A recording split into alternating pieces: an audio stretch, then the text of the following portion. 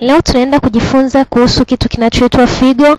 Mnaona tuna mchoro wetu ulioko hapa ubaoni ambao unaonyesha umbo la figo, na tutajifunza jinsi gani figo inafanya kazi katika mwili wa binadamu kwa kupitia sehemu yake kubwa ambayo inaitwa nephron.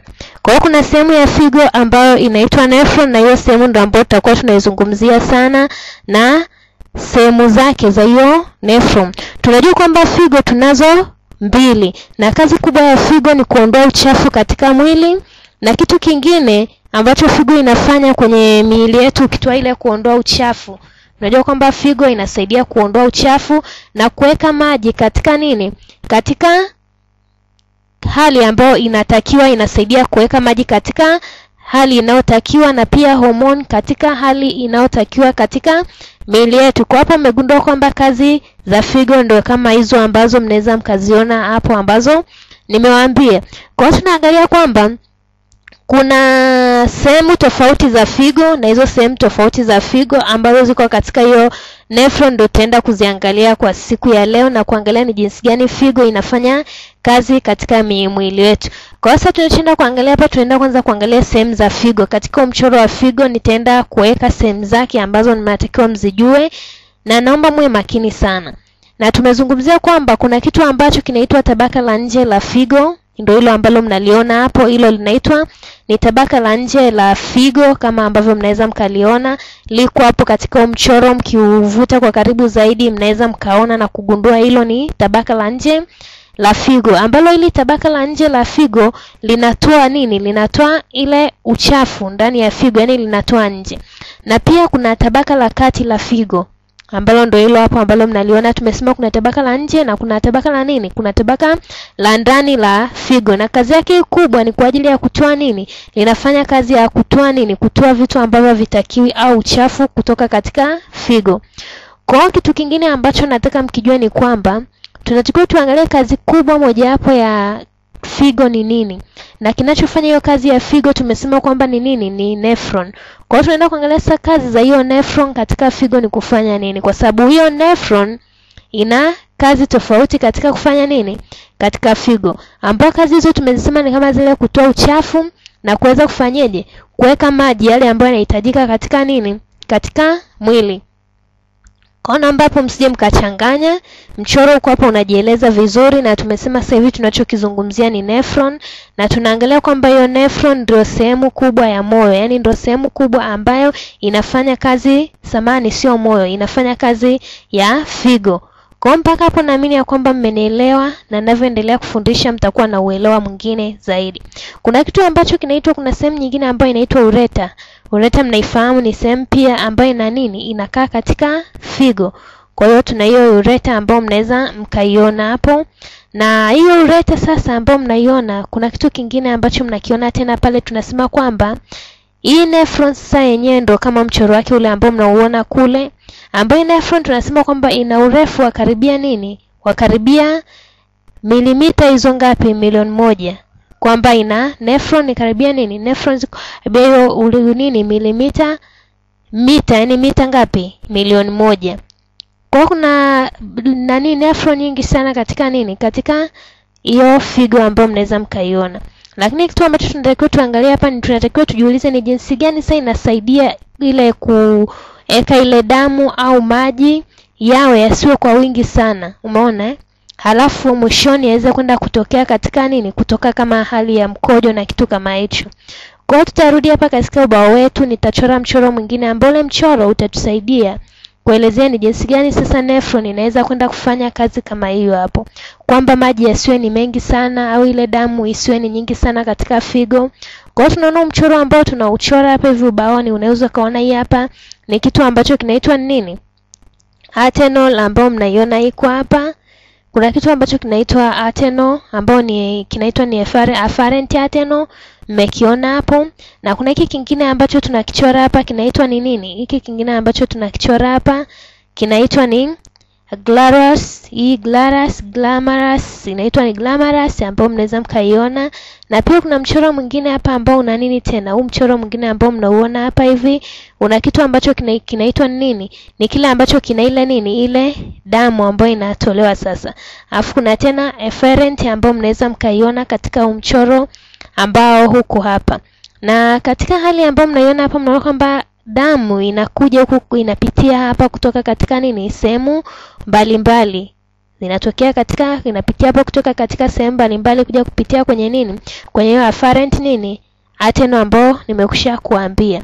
Kwa hiyo kinachofanyika hapa sasa hivi kwenye hii nephron au kwenye hii glama, tunaona kwamba ile glama sasa inaanza kusukuma nini? Kusukuma ile damu, na kama ikisukuma ile damu inamaanisha kwamba pia inaenda kusaidia yale manini yale isi, yani isiwe nini, yani kwenye hii, glama haijaenda kuwa ni ile ule mkojo kabisa tunaozungumzia, bado haujawa kama hiyo. Kwa hiyo inaenda pia kusaidia kuweka kitu kama potassium ibaki kwenye mwili, glucose, amino acid ambavyo ni vitu vya muhimu. Kuna hii seli nyingine ambayo tumeichora hapa kama ambavyo mnaweza mkaiona. Hii seli sasa ambayo tumeichora hapa kwenye huu mchoro ambao tayari tulikuwa tumeshauzungumzia. Huu mchoro au hii seli ambayo tumeichora hapa tunaona kwamba hiyo sasa inasaidia kufanyeje? Kuweka hiyo ambayo nimeambia kama sodium, glucose, amino acid ambazo bado zinahitajika nini? Zinahitajika kwenye moyo kwenye figo samani. Kwa hiyo tunaona kwamba inazungukwa na nini? Na seli ambayo ni ndogo, na tusema kwamba pale ambako damu inaanza kumiminika sasa kwa kwa kasi kubwa, sasa inakwenda kuishia kwenye kitu ambacho ni kifundo fulani hivi kinaitwa Bowman. Hicho kifundo ndiko damu inakwenda kufanyeje? Kwenda kuishia kwenye hicho kifundo. Kwa hiyo tunasema kwamba mpaka hapo mmeshaelewa kwamba ni jinsi gani hii kazi inafanyika au ni jinsi gani figo kwa kupitia hiyo nephron ambayo ndio sehemu kubwa ya figo inayofanya kazi katika mwili inaenda kufanya kazi. Kwa mpaka hapo tukifikia hapo tunapoendelea kujifunza mtaelewa kazi ya figo, mtaelewa kazi ya hiyo nephron pia ambao kwa kiasi kikubwa mmeshafanyaje? Mmeshaelewa. Alafu kuna hapa kwenye hizi seli ambayo tumesema kuna kitu ambacho kinaitwa affiliate. Hii affiliate ndio ile ambayo nimewaambia ina kazi kubwa sana. Umeona eh? Haijafikia kabisa ile amli ambayo ni inaenda kubadilisha labda kitu kuwa kwenye mkojo au nini, hapana. Tunaona inasaidia kuweka ile ni sodium tumesema kuna glukosi, kuna amino asidi, maana bado hivi vitu vinahitajika katika nini? Katika mwili. Haiwezi ikaenda kuchuja vyote na kuviondoa katika mwili, bali pia itakuwa inaviweka vile ambavyo inaona kwamba ni muhimu kwa ajili ya nini? Kwa ajili ya matumizi ya mwili. Maana mnajua kwamba kazi kubwa ya figo ni kufanyeje. Kwa baada ya kujifunza hapo, baada ya kupitia hilo hapo, tunaona kwamba sasa kilichobakia sasa kwenye nephron, nephron inaweza ikafanya kitu gani? Inafanya vitu vingi sasa, vinakwenda kwenye nini? Kwenye hicho kifundo cha boma na ambacho tulikuwa tunakizungumzia hapo. Kwa naamini ya kwamba mmenielewa kwa kiasi fulani, na pia nawashauri mtakuwa mnapitia vitabu vya biolojia, mpitie pia kwenye Wikipedia ili muweze kuona mchoro una maelezo pia vizuri, maana tayari mchoro nimeutoa kwenye nini, kwenye Wikipedia. Na hicho ambacho nakichora hapo, mnaweza mkaona ni kile kifundo ambacho ndo nilichokuwa nakizungumzia, hicho kifundo cha nini, cha Bowman ambacho nilikuwa nakizungumzia. Msije mkakisahau, maana ni kifundo ambacho ni muhimu na kinahitajika sana kutumika. Hebu nichukue nafasi tena hapa, nitakuja kuchora kitu kingine. Hiki kitu ambacho nakichora hapa ni sehemu pia ya nini, ya nephron, na hii sehemu ambayo naichora hapa sasa ina jina lake. Subiri kwanza nimalize kuchora, nitawaambia inaitwa nini. Naomba muangalie mchoro kwa makini, japo mimi sio mchoraji mzuri, lakini najua kwamba kwa kupitia huu mchoro mnaweza mtaweza mkaelewa nilichokuwa ninamaanisha au nilichokuwa nimekusudia nyie muelewe ni kitu gani. Kwa hiyo tunao mchoro unaoona hapa hivi, mchoro ambao nauchora bado hujakamilika. Nikishaukamilisha nitakuwa naambia mchoro kazi yake ni nini au mchoro unamaanisha nini. Kwa naomba mwe makini muangalie katika ubao. Napata shida sana kwenye kuchora kwa sababu sio mtaalamu vizuri, ila nitajitahidi ni uchore uweze kuleta maana ile ambayo ilikuwa inakusudiwa. Kwa mnaweza mkaona huu mchoro hapo, bado sijamaliza kuuchora, mwe wavumilivu. Kwa hiyo huu unaitwa nini? Proximate. Huu unaitwa ni proximate, ni chubu za nini, za proximate au proximo inaitwa nini? Proximo. Inaitwa kwa sababu gani ni proximo? Ni kwa sababu ni mchoro ambao uko karibu sana na nini, na nephron. Alafu tunasema kwamba kitu kitu ambacho kinafanyika sasa hapa ni kwamba inafyonza vitu, yani ile inafyonza vitu ambavyo hatuvitaki, yani hatutaki kuvipoteza katika nini, katika miili yetu, kwamba kuna vitu ambavyo hatutaki vipotee katika miili yetu. Kwa hii Proximo sasa inachokifanya ni kwa kufyonza vile vitu sasa na kuvibakiza katika mwili. Kuna vitu ambavyo vinahitajika na vingine samani havihitajiki. Kwa hiyo tunaona kwamba kazi yake kubwa ndio hiyo inatusaidia kufanya hivyo. Kwa hiyo baada ya kuona mchoro kama huu, tunaona kwamba vitu ambavyo vinaenda kufyonzwa ni kama mnavyoviona hapa, inafyonza kitu kama glucose, amino acid. Tunaona pia kwa ajili ya nini? Kwa ajili ya kutengeneza protein na pia kwa ajili ya kutengeneza nini? Kutengeneza sodium katika miili yetu. Kwa kitu kama hicho hapo kisije kikawachanganya, tunao tunahitaji hizo amino acid, glucose, sodium na protein katika nini? Katika miili yetu. Kwa kwa kitendo kama hicho hapo, naamini ya kwamba mmeelewa kwa kiasi fulani nini ambacho nilitaka kuambia hapo. Kwa hiyo hapa kitu kingine ambacho nataka muweze kuelewa ni kwamba tuna baadhi ya seli katika nini ziko katika hii proximal.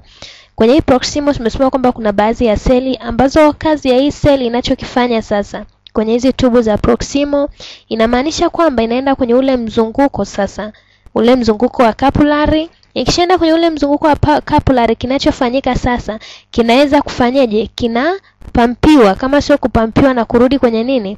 Na kurudi kwenye damu, ambao tunakuja kuona kwamba tunabaki na vitu ambavyo ni muhimu pia ambavyo tunavihitaji katika figo, ambavyo hivyo vitu tunavyovihitaji ni vile vile ambavyo tumezungumzia hapo mwanzoni au hapo awali, ambao tunaona kwamba tutapata maji, glukosi na sodium pia.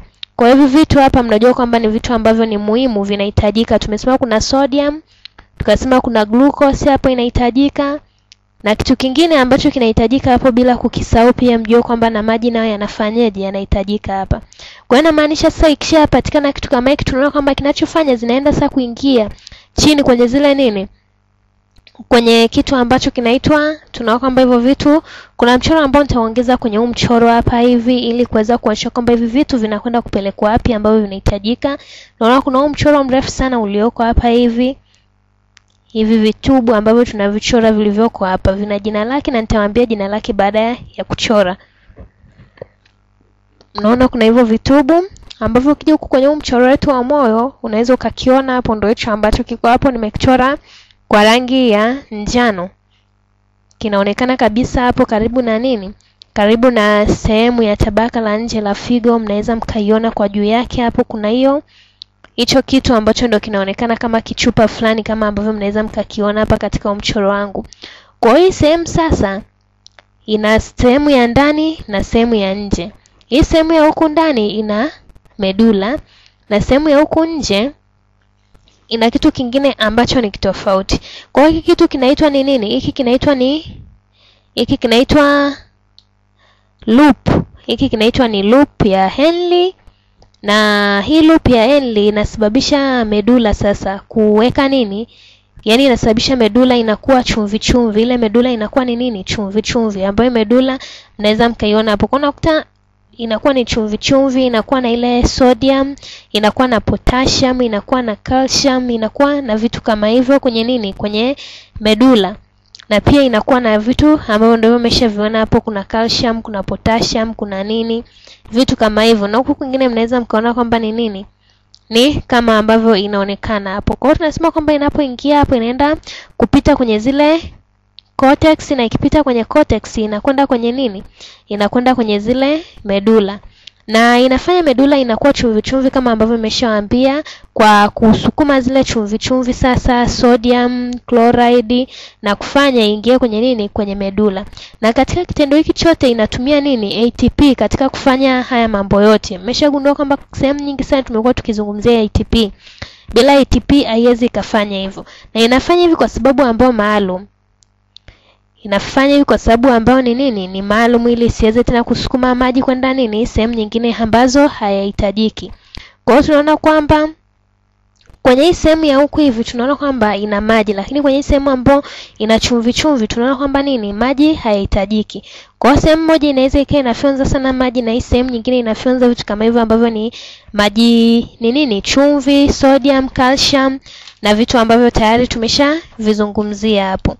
Kwa hiyo tunasema kwamba sasa baada ya kuzungumzia kitu kama hiki hapo, baada ya kuangalia mchoro huu hapa hivi, naamini ya kwamba mmeelewa kwamba ni kitu gani ambacho tunakifanya, na hii sehemu ambayo mnaona naviweka kama vimishale hivi, mnaelewa huku hivi ndo kuna nini, kuna maji. Hii sehemu ndo ambayo ina maji, mnajua H mbili sifuri ni nini, hiyo inawakilisha inawasilisha nini, maji. Lakini upande wa huku hakuna nini? Hakuna maji. Upande ambao una sodium una calcium una potassium huu upande hauna maji hata kidogo lakini huu upande wa pili huku sasa wa medula ndo ambao tunaona una maji. Upande wa loop ya Henle hauna maji hata kidogo.